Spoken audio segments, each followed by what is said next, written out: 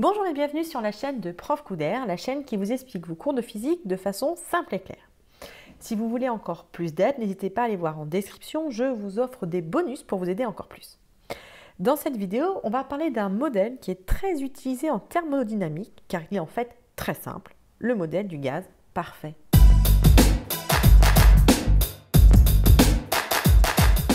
Le modèle du gaz parfait, qu'est-ce que c'est? Eh bien tout d'abord, c'est un modèle. C'est-à-dire, c'est une façon de décrire un gaz. Si pour vous ce n'est pas très clair ce que c'est que la modélisation et un modèle, vous pouvez aller voir cette vidéo. Et donc, ce modèle, il permet de décrire un gaz, et quand on décrit le, gaz suivant ce modèle, on appelle ça un gaz parfait. À noter que des modèles de gaz, on en a déjà vu dans notre scolarité. On a vu le modèle qu'on avait au collège. Le modèle de collège, c'est ça. Et donc, on voit que les particules de gaz, alors maintenant on sait que c'est des molécules, se déplacent. On voit que le mouvement est rectiligne uniforme jusqu'au moment où elles tapent contre une autre molécule et elles changent de direction. Mais entre le moment où elles tapent, leur mouvement est rectiligne uniforme.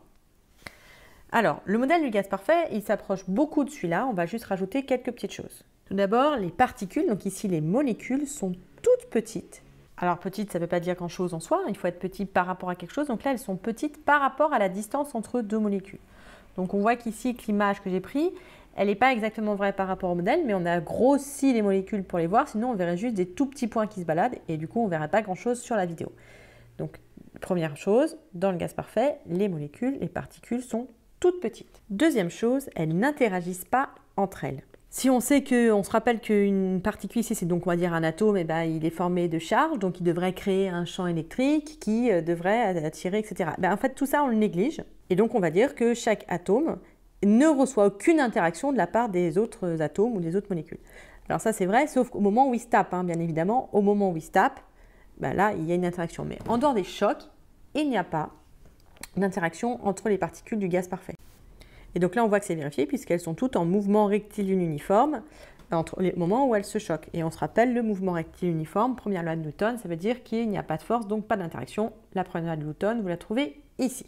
Et donc on voit que la description du gaz parfait qu'on a faite ici, c'est une description au niveau microscopique. Mais ce gaz, on va pouvoir également le décrire au niveau macroscopique. Alors on se rappelle, le macroscopique, c'est ce qu'on voit, et nous on ne voit pas hein, les atomes, les molécules qui se baladent. Mais on voit, ça ressemble à ça. Et donc on va décrire les gaz par ce qu'on appelle des grandeurs d'état, qui sont en fait des grandeurs physiques qui permettent de décrire un système. Alors sur les grandeurs d'état, si vous voulez en savoir plus, ça se trouve ici, c'est plutôt post-bac. Si vous êtes avant le bac, il faut juste retenir que c'est des grandeurs physiques qui décrivent le système au niveau macroscopique. Pour un gaz, on va avoir quatre grandeurs d'état hein, que vous connaissez déjà. La pression, la température, la quantité de matière, le nombre de moles et le volume. Donc ça, c'est des choses qu'on peut mesurer au niveau macroscopique. Et en fait, chacune de ces grandeurs va avoir une, homologue, un ciblé vient de l'explication microscopique. Donc, on va pouvoir voir pour chacune de ces grandeurs macroscopiques comment est-ce qu'on peut l'expliquer au niveau microscopique. Commençons donc par la pression. Donc la pression, ça se mesure avec un manomètre à l'échelle macro et à l'échelle micro, c'est lié voyez, à la force qu'exercent les particules lorsqu'elles tapent contre les parois. ces chocs-là, ben ça, ça fait la pression au niveau macroscopique. La température maintenant, la température, c'est lié à la vitesse moyenne des euh, particules. Donc globalement, si l'ensemble des particules va plus vite, eh ben, le gaz est plus chaud. Si ça va moins vite, ben, c'est moins chaud. Le nombre de moles, eh ben, c'est lié à nombre de particules. Hein. il y a juste le nombre d'Avogadro entre les deux. Et le volume, eh ben, c'est l'espace qu'occupent ces particules euh, avec leur mouvement. Et donc, si ce gaz est parfait, c'est-à-dire que ces deux conditions sont réunies, eh on va avoir une relation entre ces grandeurs d'état, ce qu'on appelle une équation d'état. Et cette équation, c'est PV égale nRT. Donc, elle est à retenir, elle est à savoir, c'est l'équation d'état d'un gaz qui respecte le modèle des gaz parfaits, qu'on appelle plus communément l'équation des gaz parfaits. Une des difficultés de l'équation des gaz parfaits, c'est les unités. En effet, tout est dans le système international. Donc, la température est en Kelvin, la quantité de matière, bah, c'est en mol, ça c'est assez classique. La pression, attention, c'est en pascal. Et surtout, le volume, c'est en mètres cubes, pas en litres. Alors, qu'est-ce que c'est que ce R là? Bah, Ce R, si vous voulez, c'est un coefficient de proportionnalité. Si on calcule PV, on voit que c'est proportionnel à la température et proportionnel à la quantité de matière. C'est pas égal. Il y a un coefficient qui est là parce que ça et ça, c'est des unités qu'on a mis à un moment, mais il n'y avait aucune raison qu'elles soient égales. Donc il y a un coefficient. Eh ben, on l'a appelé R et c'est ce qu'on appelle la constante des gaz parfaits. Pour connaître son unité, il suffit de regarder l'équation droit dans les yeux. Et c'est donc en pascal mètre cube par mol par Kelvin. Alors il se trouve que, on va voir ça, mais les pascal mètre cube, c'est homogène à une énergie, donc on peut aussi exprimer la constante des gaz parfaits en joules par mol et par mètre cube. Donc au lycée, bah, il faut connaître cette équation, savoir à quoi ça correspond, savoir l'appliquer en faisant attention aux unités parce qu'il y a vraiment beaucoup d'erreurs. Et puis il faut savoir s'en servir pour expliquer des phénomènes de la vie quotidienne, comme par exemple pourquoi mon yaourt gonfle quand je suis en montagne ou pourquoi euh, l'air euh, chauffe quand je gonfle mon pneu vélo. Et c'est tout. Donc c'est assez simple au lycée. Ce que je vous propose maintenant, c'est d'aller regarder un petit peu plus, un peu plus loin, pas beaucoup plus loin, pour voir d'où elle sort cette équation d'état. Quoi. Pourquoi, quand on pose ça, on a ça qui apparaît, d'où ça vient Voyons voir ça d'un peu plus près. Donc là, on n'est pas du tout dans le programme, c'est juste pour vous aider à comprendre. Donc si ça ne vous intéresse pas, hop, vous allez directement au résumé de la fin de la vidéo et puis c'est fini. Alors en fait, cette équation, c'est une équation qui est énergétique. On l'a dit, PV en fait, c'est une énergie déguisée. Pour s'en rendre compte, le plus simple, c'est de faire une analyse dimensionnelle.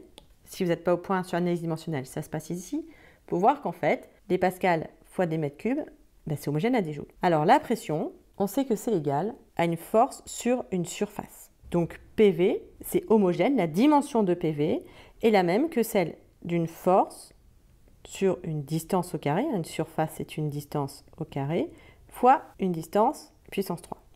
Donc c'est homogène, la, la, dimension de PV, c'est égal à la dimension d'une force fois une distance. Et si on se rappelle l'expression du travail mécanique, on sait que le travail, c'est la force scalaire le vecteur déplacement.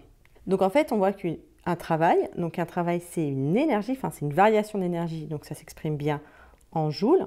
Et bien ce travail-là, le travail plutôt, il est homogène, de la même dimension qu'une force fois une distance. Donc une force fois une distance, et ben c'est une énergie. Donc la dimension de PV, c'est bien l'énergie. Si vous voulez, cette énergie-là, c'est, on peut regarder un petit peu comme l'énergie que les particules euh, perdent quand elles tapent sur les parois. Et donc si les parois étaient mobiles, et si elles pouvaient partir à l'infini, ben ça c'est toute l'énergie qu'on pourrait récupérer sur ces parois parce que le gaz tape dedans. Donc c'est lié à la pression, mais aussi au volume de départ. Ça aussi, c'est de l'énergie. Si on fait une analyse mentionnelle à cause de R, on va bien trouver des joules. Mais en fait, il se trouve que c'est une énergie cinétique. Alors, on ne connaît pas du tout une énergie cinétique ici. Pourquoi? Parce que c'est une énergie cinétique, mais microscopique. Si vous allez voir cette vidéo-là sur la température, vous voyez que l'énergie moyenne des particules, c'est égal à 3,5 de kBT. Avec ça qui est la constante de Boltzmann. Mais ici, ce qui n'est pas important, c'est pas ça. Ce qui est important, c'est de voir que l'énergie est proportionnelle à la température. Et donc ça, c'est égal à 1,5 de mv carré, puisque euh, c'est l'énergie cinétique des particules. Donc en fait, ça, c'est l'énergie cinétique microscopique. Et donc en fait, cette équation, c'est juste une équation d'énergie qui dit que l'énergie cinétique qu'ont les gaz, qui est liée à la température, eh ben, c'est exactement égal à l'énergie qu'auraient quelque part les forces pressantes si on pouvait pousser sur euh, les parois jusqu'à l'infini.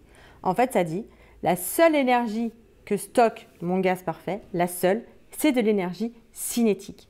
Et c'est normal parce que si on se rappelle du modèle, vous vous rappelez, dans le modèle, on a dit il n'y a pas d'interaction entre les molécules. Donc s'il n'y a pas d'interaction, elles ne peuvent pas stocker de l'énergie potentielle d'interaction, elles ne peuvent stocker que de l'énergie cinétique. Et bien c'est ça que ça veut dire les gaz parfaits.